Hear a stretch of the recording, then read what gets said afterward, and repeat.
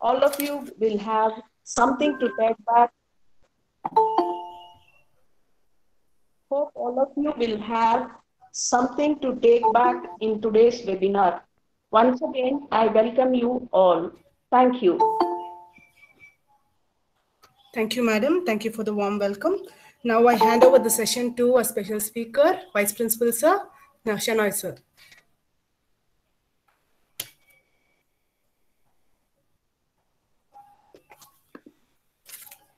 Yeah, good morning, everybody. Am I audible? Yes, sir, you're audible, sir. Uh, the screen is been displayed there? Yes, sir. Yes, sir. Uh, yeah, okay. Yeah.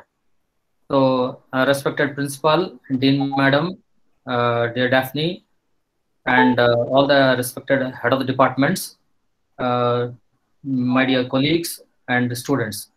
It is a great uh, day, especially for me, wherein I'm giving some of the overviews of uh, national education policy. The term is here implementation of uh, national education policy 2020. So I have put here an overview because it's, it is a elaborate policy which has to be understood thoroughly and implementation takes a lot of time. Uh, Daphne, are you recording this? Yes, sir. Yes, I'm Yeah. recording. Yes. yes. Yeah. Uh, thank you once again for giving me this opportunity on talking on this uh, uh, one of the great uh, uh, hot topic of uh, today's education field. So, giving the introduction to this national education policy, the implementation of national education policy, as I have told, it may take a lot of years. But let me give the glimpses of the national education policy or the new education policy, which has been termed. After 34 years of education policy, which was there implemented in the year 1986, now it has been totally revised. Uh, this this was this is the third complete revision of the national education policy. Earlier during independence, it was then. Then 1986, uh, it was the second revision which was there, and in 92 there was a small updates were done for the 1986 policy, and in 2000 it is completely revised. It's completely revised, uh, and this national education policy or the new education policy, whatever it is, is based on the recommendation of a, a committee chaired by former uh, ISRO chief K. Kasturirangan. Now let me see, let me tell about the total, the main purpose of this education policy. You can see here, now of course, please don't feel bad, or everything is uh, totally in, uh, it is, there is no pictures, there is only uh, the uh, word format, it will be there. Lot of things will be there because it is a huge policy of uh, that concise policy itself is uh, 66 pages and uh, wherein the entire policy is totally divided into two halves. One speaks about the primary education and one speaks about the higher education. Now let me tell about the purpose of this education policy. The if you see the purpose of the education policy it, it itself gives you the complete insight of this education policy. The purpose of the education system is to develop good human beings. Please remember underline this word to develop good human beings capable of rational thought and action possessing compassion and empathy courage and resilience scientific temper and creative imagination with sound ethical mornings and values. This is nothing but you are going to develop a complete human being who has a possession of scientific advantages. He has courage and resilience. He has compassion. He has a great creative imagination and ha- having ethical values. Everything is embedded into one education policy wherein at the outcome of this education policy is once the student comes out of this from this new education policy he should be a complete good human being. Good human being. This is what the basic introduction of this education policy. Now coming to the salient features of the national education policy. Before I get into the primary education field and then go to the higher education field, so let me uh, tell about the uh, principal glimpses, the fundamental principles of this policy. I'll read all these things and then explain whenever it is necessary. The first point here is recognizing, identifying, and fostering the unique capabilities of each student. Please remember here, here it is not that normal way of teaching is adopted here. And this, whatever the fundamental principles, what I'm telling, it holds good for primary education as well as higher education. All complete education, all put together. Okay. Now, it it emphasizes on recognizing, identifying, and fostering the unique capabilities of each student by sensitizing teachers as well as parents to promote each student's holistic development by both academic and non-academic spheres. It is very clear that we need to identify, we know that every student, every student is unique in him it is not that when he reads nicely, he's a good student. If he's good at other activities, he may not be a good student for a teacher as such. But uh, but here it says that a student can be good at uh, uh, in uh, academics. He may be good at sports. He may be good at singing. He may be good at any other field, whichever he likes. We should identify, recognize, and foster his capabilities. Who has to do this? teachers as well as parents they have to promote the students that's what has been told here you may be knowing that in china we see that even in the young ages of the students they have been identified whether this girl or boy she or he is good at academics they will be put in academics only if they are good at sports they will be cultured in good sports only they are good at what type of sports either it is gymnasium either swimming or shooting or athletic, athletics whatever it is so here also it has same thing has to be done. Same thing has to be done. Second point, no hard separation between arts and science. Normally we have different arts stream, science stream, commerce stream. These are the different streams what we have after once you complete your your 10th degree, 10th uh, grade. So here it, it has to be uh, not be there. It has been told no hard separations between arts and science between curricular and extracurricular activities, bet between occasional and academic streams. There should not be any differences. Everything and anything can be incorporated and included in the education, in the education. So here the import the silos between it is clearly tells that eliminate the harmful hierarchies, eliminate the harmful hierarchies between the silos of different areas of learning. You should not tell that I am in medical, I'm in engineering, I'm in commerce, I'm in science, I'm in this, I'm in this. Everything should be incorporated. Everything should be incorporated. A student who needs to study technical education and he is interested in studying some other activities of economics or literature, everything has to be incorporated during his studies. That has been told here. That's what, uh, coming to this, multidisciplinary and holistic education across the science, social science, arts, humanities, and sports for a multidisciplinary world. So this is also been emphasized there. That means a student can take anything as a combination. It is not that a, a engineering graduate, once he comes for the first year, it is not that the syllabus is been framed by a university and we follow the same syllabus.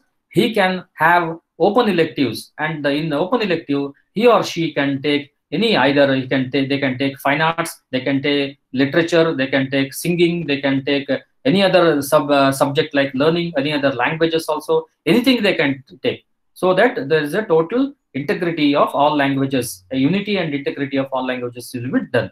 So this is called as multidisciplinary learning or a holistic learning education. And next point is emphasize on concept understanding rather than learning for exams. Very important point here. Emphasizing this education policy emphasizes on concept understanding. So concept has to be understood rather than they should learn mug up for the examination point of view. Uh, in the in the next slides, I will be telling more about this, how it will be done later. So here it says that concept understanding is more important rather than learning for the examination, for the student's point of view. And accordingly, the system should change. Accordingly, the system should change. Next point.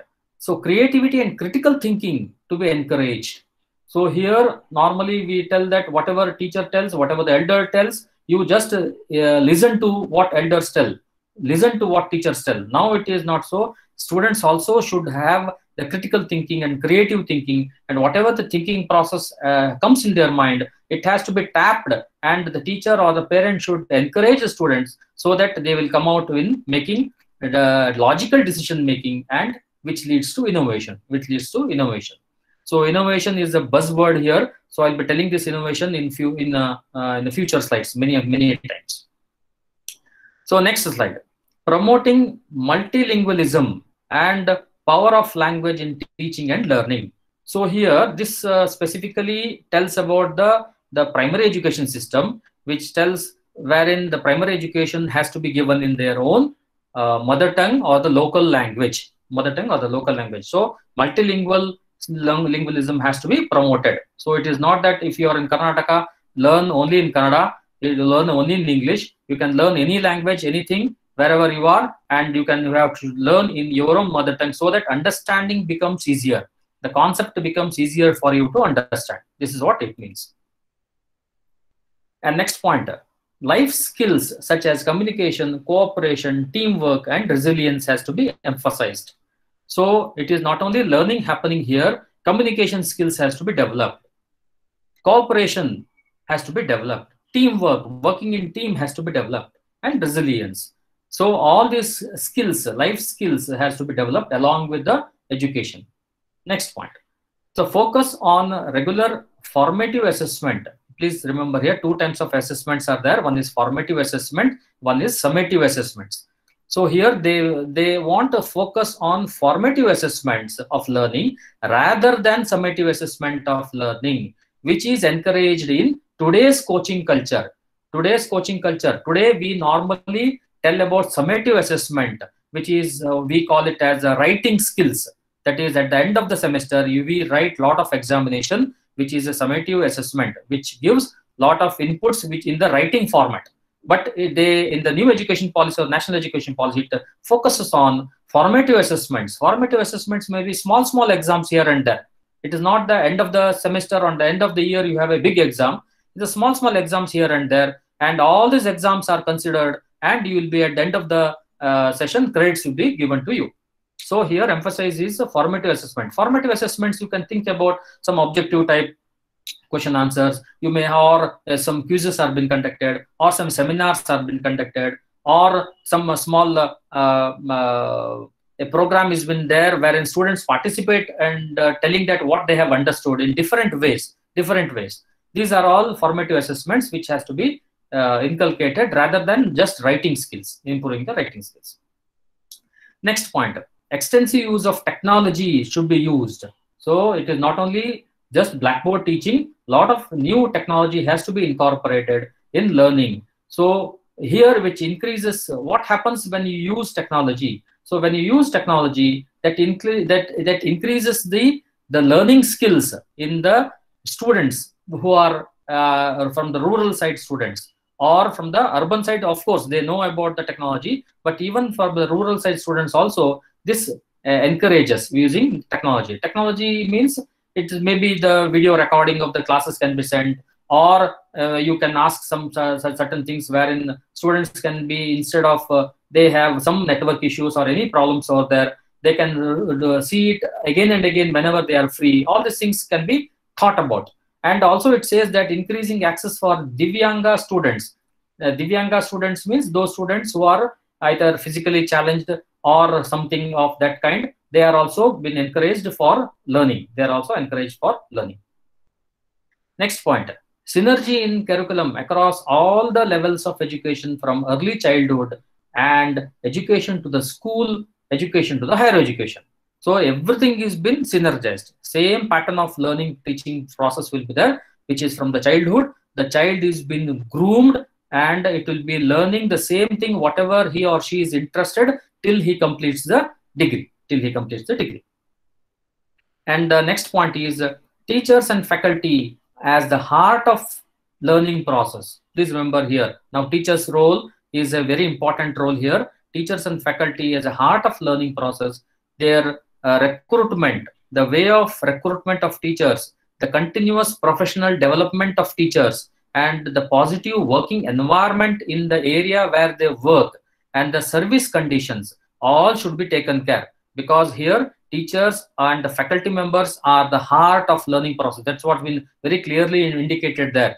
That means they are the heart of the learning process and a lot of uh, things have to be taken care for the teachers so that uh, teachers give 100% to the students 100% to the students. And that this is the last slide where they here for the introduction part. A light but tight regulatory framework is ensured. So this it is not a very tight regulatory framework as now they have. Uh, regulatory framework means for engineering we have AICTE which is a regulatory body which a lot of uh, frameworks are there and uh, VTU is the one who has one more regulatory body. We are being confined within this regulatory body wherein we have to work. But now also in future also if it happens, it is the lot of things are there which has to be done wherein it says that every institution should become a university. Then also you have a, a tight uh, regulatory framework will, will be there. But it says that light but tight. It is not very tight it is light regulatory framework will be there but whichever is light, whichever in areas which is uh, regulated, but it will be tight. Like, like to ensure why it is there to ensure integrity, transparency, and resource efficiency of education systems through audit and public disclosure. So here the framework is there, regulatory framework is there to ensure integrity efficiency and uh, through how? Through audit and public disclosure. Audit means like uh, lic committee is coming to the institution and uh, going through all everything. That's auditing. And public disclosure means whatever we do we have to upload in our website or any uh, public places wherein people can go through it and what is happening. So and also we should encourage innovation and out of the box ideas through autonomy. So here it clearly indicates that the uh, colleges and universities will be given autonomy where only in innovation and outbox ideas where innovation happens their autonomy is given. You can do many different types of uh, innovations. Lot of out of the box ideas can be generated. And here the autonomy is given to the institutions. So next is uh, outstanding research as a core prerequisite that is uh, research is a buzzword once again. I told there is one more that is uh, innovation was there. Here outstanding research has to be done. So so outstanding re research as a co uh, requisite for outstanding education and development. So research has to be emphasized.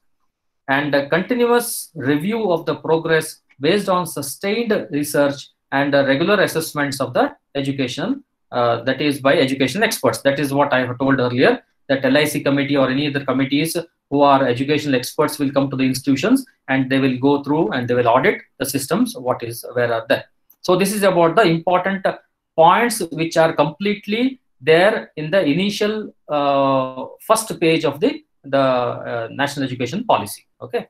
Now, let me start with the two different uh, variety, two different halves of the national education policy the national education policy if you see there it's around 66 pages of uh, draft is there wherein up to 35 pages it is speaks about the uh, the primary education or the school education and the 36th page onwards up to 66 page it speaks about the higher education and research higher education and research. Now coming to the school education. Let me give some glimpses of school, school education uh, then i will go to the higher education. So here uh, the government has a um, uh, is a big dream that uh, universe that is 100% uh, gross enrollment ratio for the schooling should be done by 2030 that is now the gross enrollment ratio. That is number of students attending the schools are less than 100% it is quite less than 60% so overall if you take in india it is less than 60% so the central government, the government of India has a dream that so 100% gross enrollment ratio should be there in school education by 2030. And then next important, which everyone talks about here is the present 10 plus 2 structure of school curricula. Now at present it is 10 plus 2 structure that is from first standard to 10th standard it is schooling then you have first PUC and second PUC or 11th and 12th which is coming under the PU board in Karnataka. So you, I'll talk about only Karnataka here. So that you can, because you will understand more here.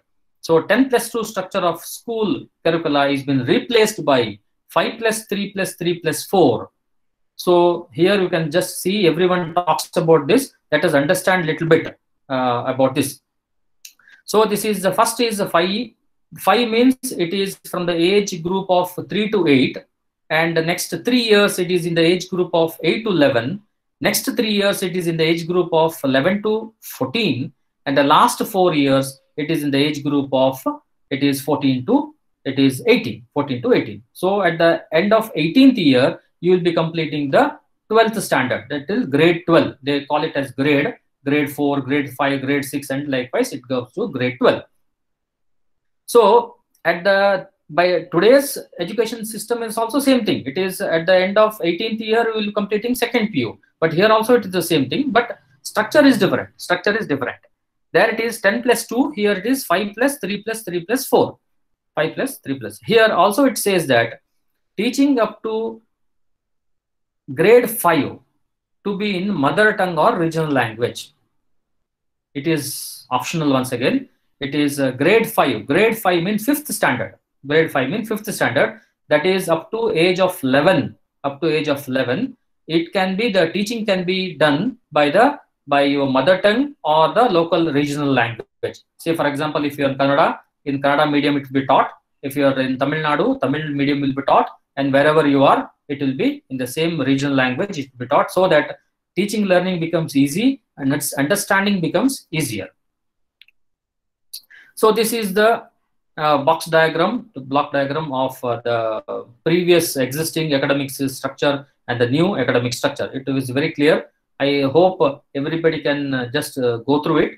Uh, you can see this now. This slide can you can see. Daphne. Yes, sir. Yes, sir. It is visible, sir. Okay. Okay. Fine. any questions till now? You can please ask anything. Anybody? So I'll explain once again this format of a new academic structure is very clear. The second uh, blocks, uh, there are some four blocks are there. It is uh, very clear. So this first block, the second one, the bottommost, it is written there. So you can see there three years. Three years. It speaks about this. three years are Anganwadi or preschooling. Anganwadi or preschooling, and next two years it is class one and class two. So all these five years, it is called as a foundational stage.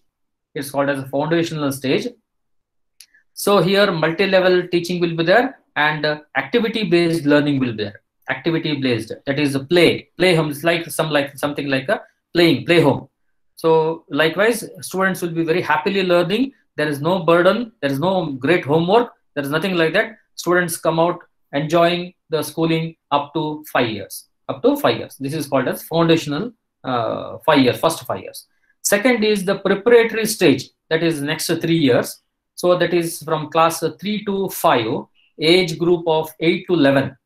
So here, again, once again, they play discovery, activities, activity-based learning, interactive classroom learning. All these things will be there. It is not just a teacher coming, taking a book, taking a big ruler, and uh, asking everybody to memorize, write homework 100 times. It is not so. It is different type of teaching learning process altogether happening.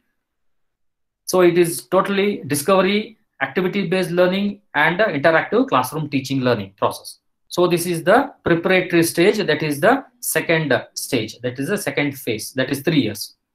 That is up to uh, fifth standard or class five or grade five. Next is the middle stage. That is next three years. So here it is class six to eight, age group of 11 to 14. 11 to 14. So here it is uh, experimental learning of in the sciences mathematics arts social science and humanities. So a lot of things are happening here. So people will not be learning only uh, with the with the present situ- present things. People also learn social science people learn arts people uh, humanity sciences or so many things are there uh, which they can learn which they can learn. From here onwards the english starts. The english starts until fifth standard it is english maybe there is one of the subject but wholly it is completely it is with the regional language or the local language we taught and uh, from uh, uh, class 6 onwards english will be taught And the last four years, that is from class 9 to 12th, that is complete schooling. It is complete schooling, uh, class 9 to 12th at the age from uh, 14 to 18. That is called as a secondary stage. That's called a secondary stage. Here you can see here multidisciplinary study. It is a greater critical thinking will be there, flexibility will be there, and student choice of subjects. Is very very clearly told that student choice of subjects. In case even it is been also told that in the next slide I will be explaining vocational training is also given in this stage. Vocational training. Okay, I will tell about this vocational training next. So this is what it explained. Once again, I'll uh, just go through it. So the new education have uh, 12 years of schooling from uh, 3 years of Anganwadi and preschooling. So to total 12 years of schooling only. There is no school and pre-university. It's only school. It's only school. And who will frame this? NCERT will develop the national curricular and assessment reforms, uh, which has made a 360 degree holistic pro, uh, progress card tracking students' progress uh, for leaving achieving learning outcomes. So totally NCERT, that is the central board, will be taking care of the the national curriculum. That is the total assessment and curriculum is taken by, by, by NCERT. You don't have a state board, you don't have a central board, you don't ICSE education system, nothing will be there. It is only one type of education system. It is NCERT. Then every school should follow the same syllabus across India, pan India. So it is the one which frames that only the curriculum is framed there and assessment reforms also will be done there with the 360 degrees holistic uh, process will be there including progress card tracking of students progress and uh, achieving learning outcomes. Everything will be done by ncert and as i've told earlier vocational education to start from class 6 with internship. So vocational training uh, vocational education so a lot of different uh, educations are been given. Say, for example, poor students are there. They don't want to do degree. They want to uh, do some occasional training. Occasional training may be vocational training. Maybe you want to you want to uh, learn uh, some uh, training programs on stitching. You want to learn on cooking. You want to learn some vocational training on uh, say masonry work. You want to learn vocational or carpentry or any other any other which is of your style skill or you want to uh, upgrade yourself in sports you want to upgrade yourself in music anything of this one you can just start there and learn from class 6 onwards with internships also with the project small small projects and internship. This starts from class 6 not from uh, final year engineering. And all students will take sc school examinations in grade 3 5 and 8 there's not every year you have examination grade 3 that is third standard fifth standard and eighth standard you have examinations. You have school examinations which is conducted by the appropriate authority. Probably a district wide examination will be there. So these people will be uh, taking up the students will be taking up at the examination in the third standard fifth standard and eighth standard. But board examination that is a pan india board exams will be there in grade 10 and grade 12 will still continue uh, to be the same grade 10th and grade uh, 12th. So 10th and 12th board examination will be as usual, as usual, and it can be taken two times in a year. It is not that the same one examination is taken. Uh, two examinations will be given for grade 10th uh, and grade 12th, and whichever uh, students have scored more, that will be considered. That will be considered. A new national assessment center a new National Assessment Center, PARAKH, that is Performance Assessment, Review and Analysis of Knowledge for Holistic Development will be set up as a standard setting body. So this is a different assessment body will be set up, which is called as PARAKH, which uh, the full form of that is Performance Assessment, Review and Analysis of Knowledge uh, for Holistic Development. So this is the National Assessment Center which will be developed uh, to set up will set up will be set up for the standard setting body. And a great emphasis will be given for socially and economically disadvantaged advantaged groups.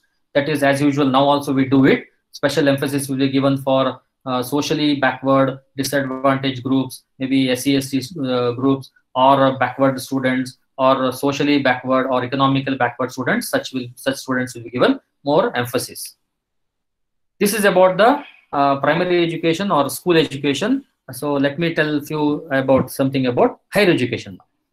Till now, any any any doubts? Anything? Anybody? Whatever I can uh, clear, I can I have understood. I will tell. Okay, fine. Next, let us go for higher education. Probably uh, this is the one uh, wherein everybody are more interested about learning uh, how higher education will be. So the first point where it discusses about the gross enrollment ratio, what has been same, the first point discussed in the schooling, the there the aim of the central government was the gross enrollment ratio for schooling should be for 100%. But here for higher education, they have a target of 50%. They have a target of 50% by 2035.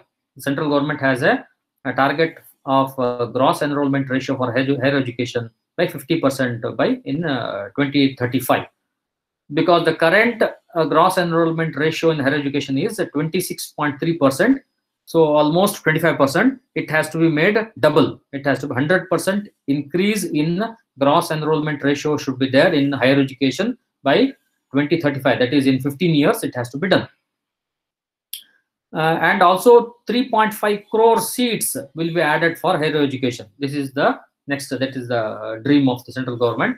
More 3.5 crore seats will be added for the higher education so that uh, everybody uh, will be having the privilege to learn higher education. Uh, next point.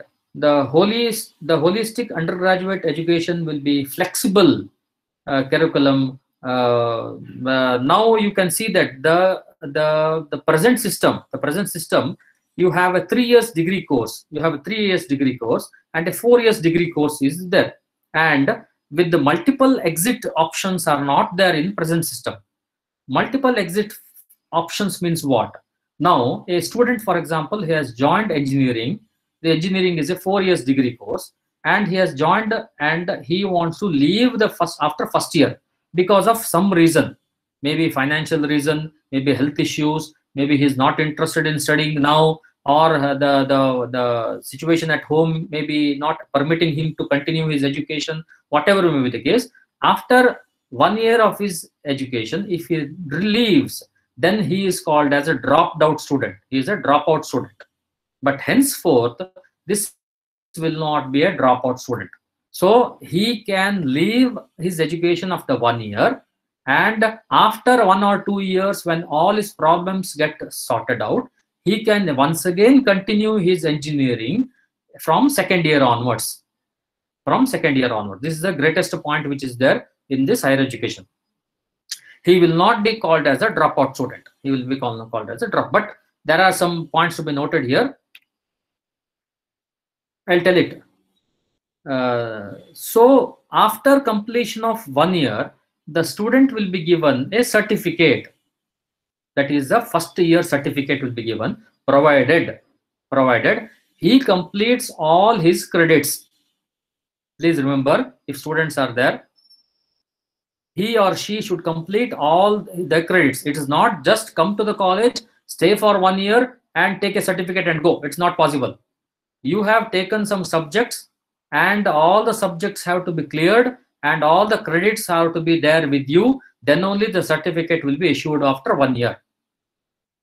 Then after one year second year if you want to leave then a diploma certificate will be given to the student. Third year if a student wants to leave because as now you know that a bcom or bsc it is for three years and engineering it is for four years there are some degree uh, degrees are there for the three years and some degrees are with the four years. Here also the same thing. All bachelor's degrees are made with three years only. Next henceforth all bachelor's degree with three years. After completion of three years a bachelor's degree will be given to the student. And if the students take up fourth year and he wants to complete four years of education and come out then the certificate will be bachelor's degree with research will be given that means the fourth year he will be doing a lot of research lot of projects lot of research oriented project. So here the four after completion of four years the student will be given a bachelor's degree with the research will be provided to him. So first year if he leaves that is a certificate will be given. Second year if he leaves a diploma will be given. Third year if he leaves just a bachelor's degree will be there. And after the fourth year of after completion that is bachelor's degree will be with the research will be given but provided he has to complete all his credits. He has to complete all his credits. Please remember just completion of one year doesn't serve the purpose. He has to complete all the credits. And all the credits whatever he uh, he has got it it will be kept in an academic bank of credits. The third point academic bank of credits will be established to facilitate the transfer of credits. That means if i have i am a student i have uh, i have joined a college say for example if i take dr TTIT i have joined and i have completed my one year. I have completed all my credits. Say for example now i have some 35 or 36 credits to be done. I have completed all my credits and that means some uh, uh, six or eight subjects in one year has to be completed because there are in later on there will be subjects will be reduced. There will be major subjects and minor subjects will be there. All the major and minor subjects of my choice whatever i have taken i have completed. On all the credits are there in my academic credit bank. Now i want to leave. I want to leave the institution because of some compulsion. My parents are being transferred. I'm going to say pune. I'm going to pune. Now what to do? I can leave this institution and go there and get into the second year. That is one option. Or example number two. I have some compulsions. I am living in between. I am living in between because of financial crisis. I want to get into some job. I will do some job. After two years my all my financial compulsions are over. Then i'll think about studying. I can come back. If i'm here i can come back and join my old college that is dr TTIT, or at that particular after two years i am in delhi or haryana or tamil nadu whichever part of india. I want to continue my education. I can go to the respective college. I can show my academic bank of credits they will go through it and they will give the direct admission to the second year onwards. Second year onwards. So this is the advantage for the students. They can learn anywhere anything across pan india. So this is very important. Second uh, mphil course which was there till these years is been discontinued. So there is no mphil course at all. Once uh, you complete your four years degree then you have one year master's degree then you have you can directly do your phd then you directly do give your phd so after master's degree that directly. Science streams now also they have mphil degree. Mphil uh, will be discontinued. There's no more mphil henceforth. And this academic credit bank whatever academic bank of credits what i've told there all your credits will be stored. Next very important point so multidisciplinary education and research universities meru what they call. Multidisciplinary education and research universities will be set in each district in each district at par with iits iims with a similar model of iit and iims even iit and iims uh, even indian institute of science also they have to go for multidisciplinary studies now for example iit which speaks about only technical education. Henceforth it is not so. Iits also should incorporate other streams of education. Iit kharagpur already has started medical education. Medical sciences are being set up there. And today's paper times of india you can see there in uh, indian institute of science after 123 years medical education is being set up. Because every bigger universities all the streams of education should be given for the students say now if i am a student of first year engineering and engineering i have uh, say six subjects are to be studied. Two major subjects and two minor subjects in, uh, at one stretch. And two major subjects I, I have to take it in technical education. And minor subject i can take one as a fine arts. I can take one as a economics. I can take one as a, say uh, cultural some some some uh, singing. I can take it. I can take it. uh, every student are have having that privilege. So likewise multidisciplinary education has to be done. So because i'm interested in science even i'm partially interested in economics also. Economics comes under commerce stream. So here being a engineering graduate i can learn engineering and parallelly i can learn one or two uh, subjects from other streams also. Other streams also, wherein I will become my education becomes a holistic or complete education. So this is what it tells about. So multidisciplinary education and research universities will be set up. And the National Research Foundation will be set up, which is the apex body to foster strong research culture. So because henceforth research is a, a very important word in higher education. Without research, there is no higher education at all. So National Research Foundation has been set up, which is apex body which fosters the strong research culture and building research capacities across higher education. Higher education. So Higher Education Commission of India is been set up. So this is the single umbrella which takes care of all varieties of education systems in India except medical and legal education. Except medical and legal education, all different varieties of education, uh, say um, bit uh, technical education, uh, MBA, bit MBA, bit commerce, bit everything, whatever the type of uh, education systems are there, every education systems are brought under this uh, single umbrella body, which is called as Higher Education Commission of India. So henceforth, AICT, uh, UGC, and other things will not be there. It is only the Higher Education Commission of India that will be set up a single uh, umbrella body which takes care of all higher, edu higher education, excluding medical and legal education. All public and private education institutions will be governed by the same set of norms. There is no different set of norms. The same set of norms will be there for public and private education institutions. All different regulations, accreditations, academic standards, everything will be the same. Under this uh, single umbrella body that is Higher Education Commission of India, four independent verticals are there. One is National Higher Education Regulatory Council for regulations, which is looks into the regulations of the higher education. Next, General Education Council, GEC, which takes care of the standard settings. What are the different standards to be there? How the education should be uh, standardized. Next, Higher Education Grants Council for funding. For funding, Higher Education Grants Council is there, which takes care of the funding. And next, the National Accreditation Council, that is NAC for accreditation.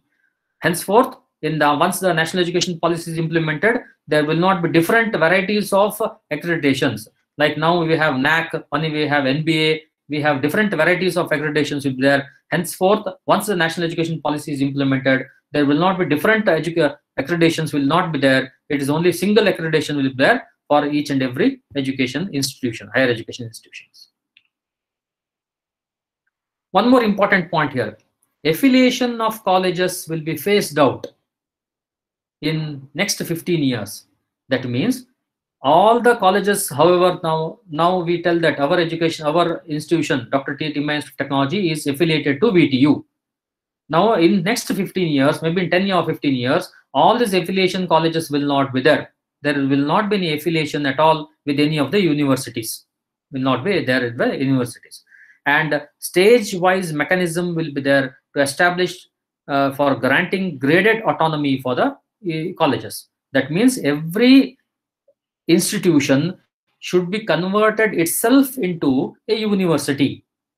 The main purpose is every institution should convert itself into a university or initially it will not be a university. Slowly a graded autonomy will be given. Slowly autonomy is given to the every institution. Stage by stage there is a mechanism will be there which will be established for granting graded autonomy for the colleges. So in a 15 years time all the institutions will be uh, independent will be independent. So over a period of time every college is expect, expected to develop either into an autonomous degree granting college or a constituent college of the university. Constituent college means the university's college. Say now bangalore university has a uh, UBC or UBDT is under uh, the one of the universities in north karnataka. Very similar Kuvempu universities so likewise that's uh, constituent colleges may be there of the university or it is autonomous or a, uh, it is a uh, what now we call as a deemed university. Very similarly it is a university itself every uni every college should be a university which can degree which can grant a degree to the uh, students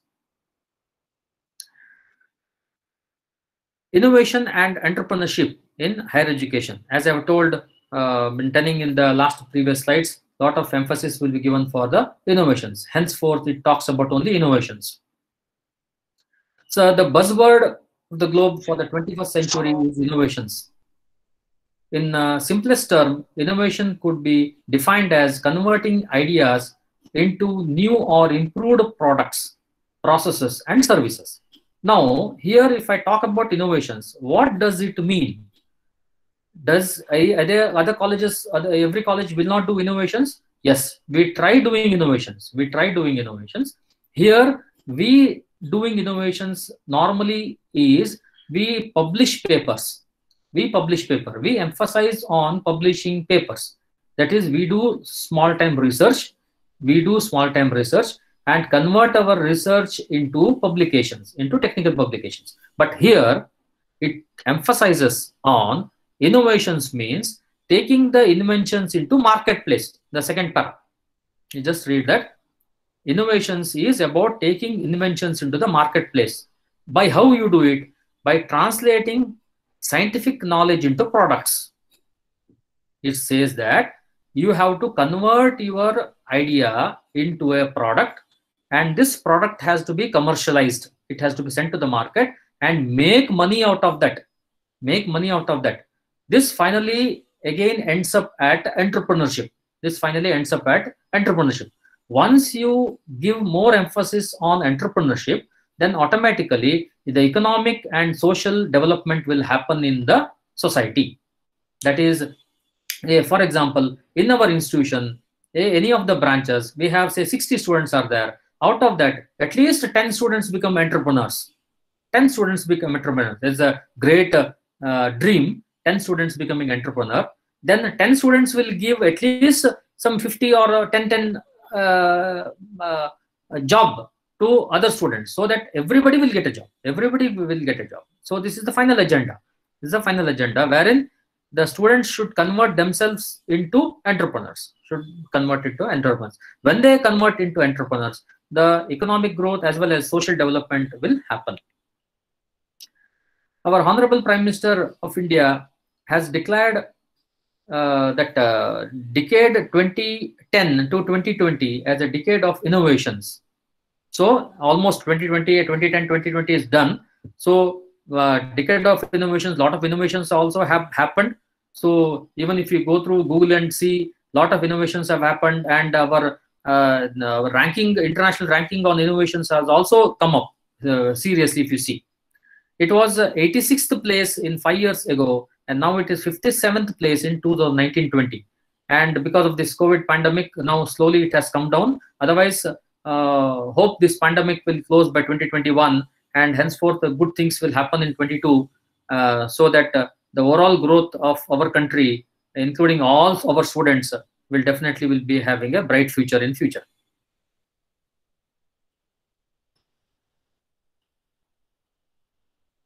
So this speaks about uh, the global innovation. So for India to emerge as a global innovation hub, the youth of our country, especially in higher education institutions, need to play a critical role, a crucial role to create sustainable innovation ecosystem. That's what everything is emphasizing here. That is, students or the youth of this country should uh, not only just go and uh, read and uh, update yourself from the, the book knowledge rather than you create yourself look into the outside world come out with new ideas and then and see that innovations happen in the institution innovations happens in the institution so now if i categorize the institutions we have uh, uh, now at present two different uh, three different types of innovation uh, institutions are there. One is uh, purely innovative institutions. Second is purely teaching institutions. And third is uh, blended institutions, blended institutions. So purely innovation institutions are those institutions which uh, totally rely on innovations like uh, IITs and IISc. So this institution, uh, Tata Institute, IISc. That is totally, it is innovation based some of the institutions are there which are bound by some regulatory bodies wherein we have syllabus prescribed then we are totally teaching related we are totally totally teaching So we concentrate on only teaching. One more type of uh, universities, uh, institutions are there, which has blended. They have, say, for example, now deemed universities, autonomous universities are there, wherein they, they can frame their own uh, uh, syllabus.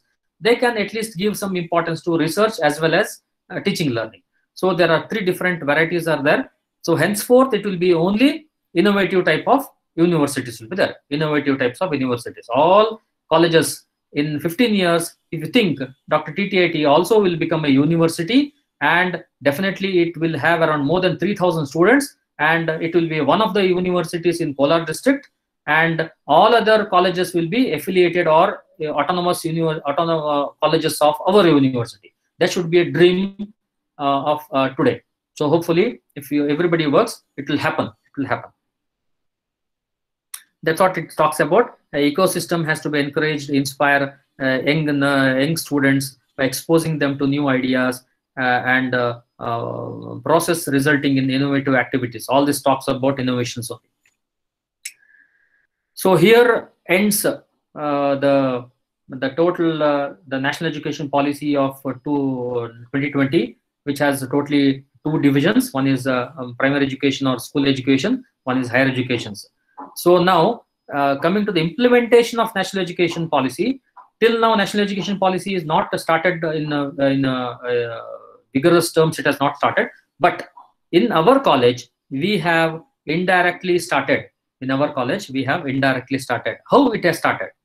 Because in the, in the as per the directions of government india government of india and ministry of education we have several initiatives taken like institutions innovation council ARIIA ranking nirf ranking and nisp all these whatever is there we are a part of institutions innovation council and we are also uh, in uh, Atal ranking or Atal ranking of institutions on innovation achievements. We are also there in NIRF ranking, and we are recently we have uh, we are also there in NISP also. And uh, I think some couple of days back, even Dr. P. D. Sudarshan sir had given a talk on NISP also, uh, which talks uh, about uh, national innovation and startup policy. So with all these things, whatever is there, we are very fortunate that we are in all these activities even though we are we may not have a great uh, things to be uh, showcased in the Atal ranking or uh, NIRF ranking, but whatever it is, we are there in the ranking. Today we may be small, but tomorrow definitely we will grow. Tomorrow definitely will grow if we religiously do all these things in a better way, and if you try implementing the accreditation process also, and there is no doubt that in next 10 15 years we will be a uh, autonomous institution or a deemed university and we can cater the entire district of Kolar. So uh, having said this, there are some more slides are there which speaks about IIC, ARIIA ranking, NIRF and NISP also. So here, because the time schedule given is one hour, so almost it is done. So it speaks about uh, different uh, ranking procedure which uh, is not related to this so i'll take up this in some other time Okay. Thank you very much for patiently hearing me. Any doubts, anything uh, which I know, I will definitely try to uh, solve. Thank you, sir. Thank you for the wonderful session, sir. So there is one question from Manjunath, sir, sir. Uh -huh. um, which major um, gap is identified in NEP 2020 and how it is taken forward? No, major gap means uh, Manjunath sir, if you're there, you can ask, sir. Can unmute and ask.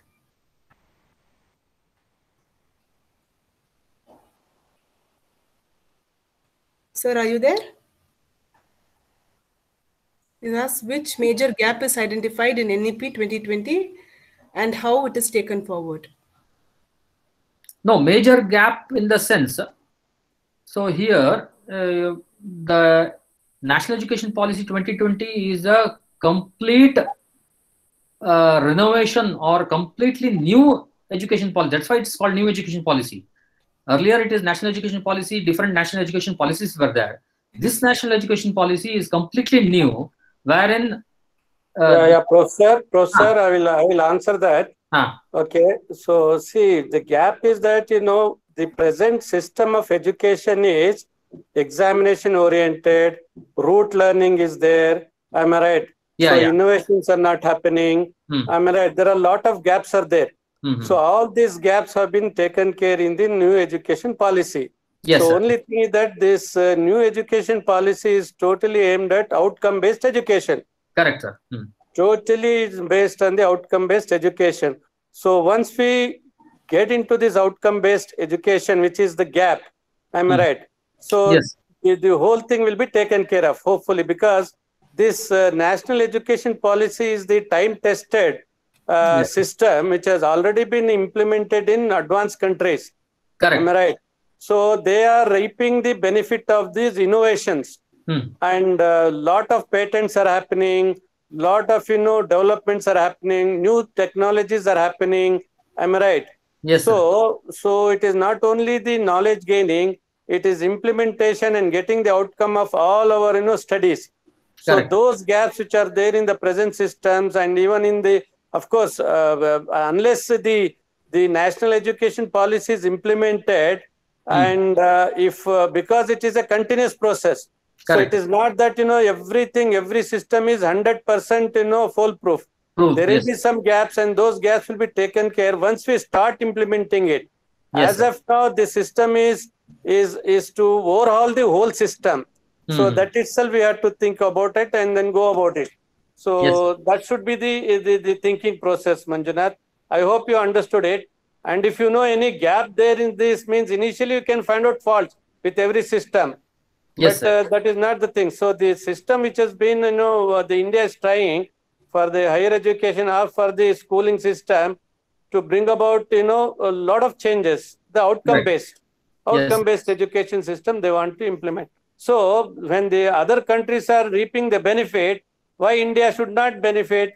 Yes, that is the that is the importance. I think Yes. I think to some extent I answered. If Yes, sir, yes, uh, sir. Tina, if you Yes, want to add, you can add. Or No, even no. Manjunath can add. Manjunath can also add. Uh-huh. Please. Thank you, Thank you, sir. sir. Thank you, thank you, sir. Hmm. So there's one more question, sir. So Yeah. as most of the institutions transform into autonomous as per NEP, how it may be envisaged? As most of the institution transform into autonomous as Mhm. per national education policy, how it may be envisaged?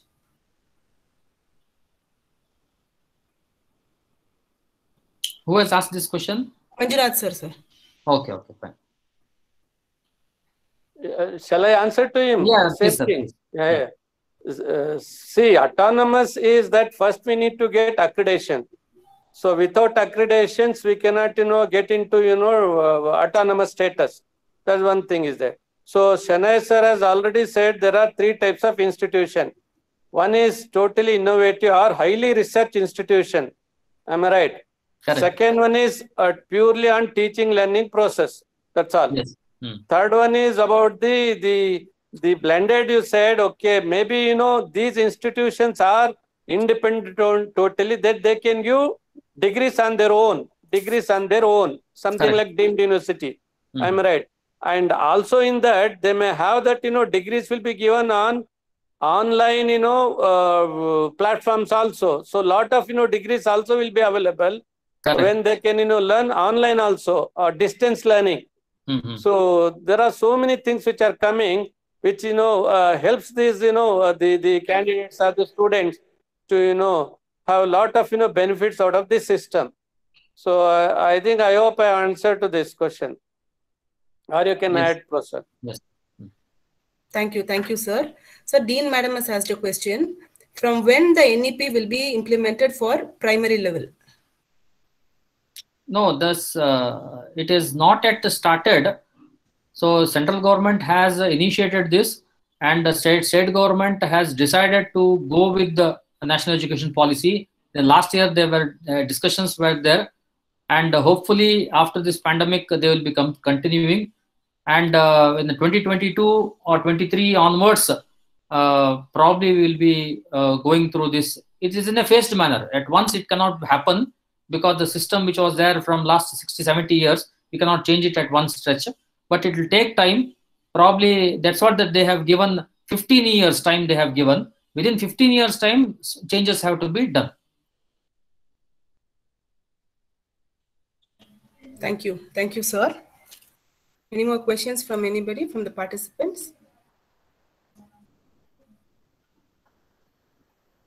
Thank you. Thank you, sir. No, no, one thing, one thing. Okay, so I think excellently you have covered procession. I so yes, primary sir. and higher education overview excellently you have done. I hope many of us are understood in totality what is yeah. na national education policy and this has to be submitted to AICTE, whatever it may be the case. See, more and more students has to be involved and we need to you know, educate them and also the, uh, the faculty members.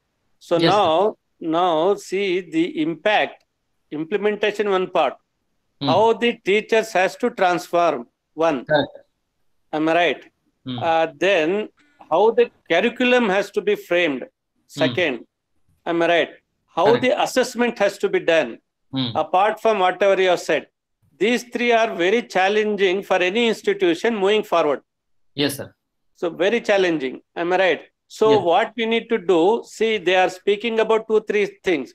One is uh, the multidisciplinary. A lot of things they are telling about multidisciplinary. Mm-hmm. Second one is innovations. Mm-hmm. Am I right? Uh, and so many other things. Assessment wise is also know, different. So multidisciplinary is very important. Now, how to adjust to these things? See, this is you know we need to plan from now itself so that yes. we should not be you know starting late Correct. See, what we have to do, we had to have short goal of five years, then mid plan, mid goals of 10 years. And mm. as hmm. you rightly said, that everything will be, you know, implemented, you know, gradually till 15 years, the long-term policy of 15 years. So now ourselves had to, you know, plan for next five years, what are the things we need to do? Yes, sir. Next 10 years, what we need to do? Mm. And the next 15 years, what is our, you know, targets or what are our strategies? So that we will you know achieve completely as per the national education policy yes, and uh, so that the students also will gain the faculties also will gain the, you the the the institution also will gain so we had to set up one thing we are in the right direction of you know uh, getting into the innovation cycle so this yes. is we have started so we had to strengthen in that in uh, next 5 years we had to have ranking of all these things mm-hmm. apart from accreditation. Once we get accreditation, automatically we'll start getting the ranking of a uh, this ARIIA, NIP, NSP, NIRF, all those things. Yes. Sir. Okay. So this should be our short-term goal of five years.